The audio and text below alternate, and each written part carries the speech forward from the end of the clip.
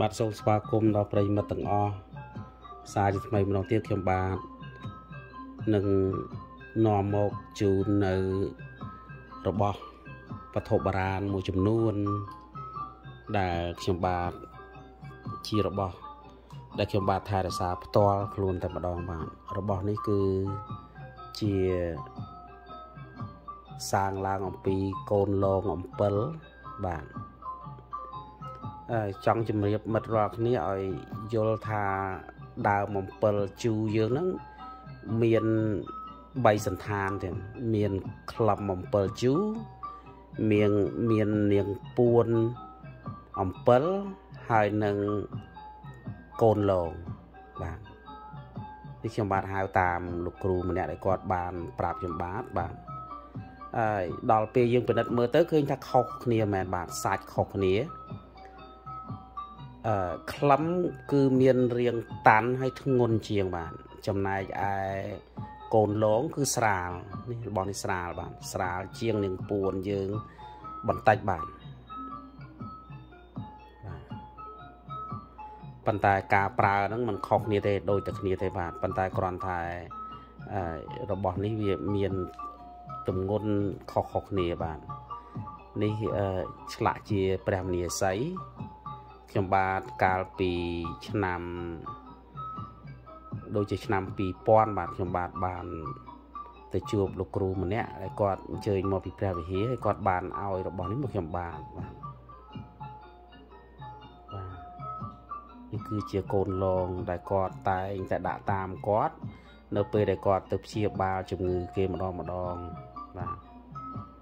ហើយបើតាមខ្ញុំបាទ ប៉ាន់ស្មានពីអាយុគាត់ប្រហែលបច្ចុប្បន្ននេះគាត់ប្រហែលជាអាយុប្រហែលជា70ប្លាយឆ្នាំហើយបាទ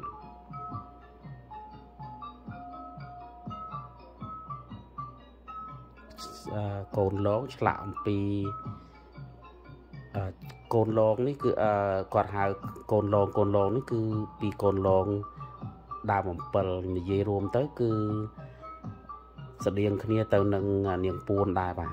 បាទ គាត់ថាមានអត្ថប្រយោជន៍ស្តៀងគ្នាទៅនឹងនាងពួនដែរក៏ប៉ុន្តែថាកូនលងនឹងមានធម្មពលខ្លាំងជាងនឹងតាមការរៀបរាប់របស់គាត់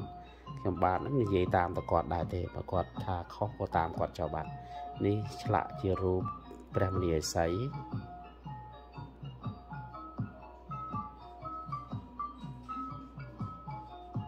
បាទតាមជំនឿរបស់ ប្រជាពលរដ្ឋខ្មែរយើង តាំងពីដើមមកទល់បច្ចុប្បន្ននេះគាត់តែងតែជឿទៅលើខ្នាយតាន់បាទចែកាច់នុបប្រាស់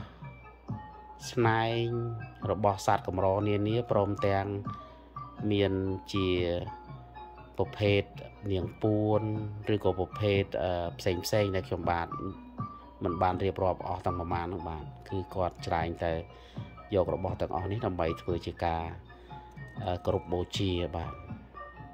ស្រាលណាបាទស្រាលមែនតើបាទនេះផ្នែកខាងក្រោមនេះនៅនេះនៅឡើយទេបាទ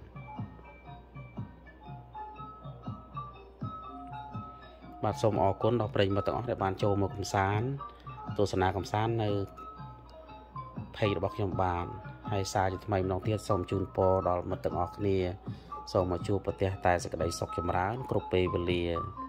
សូមអរគុណសូមជម្រាបលាបាទ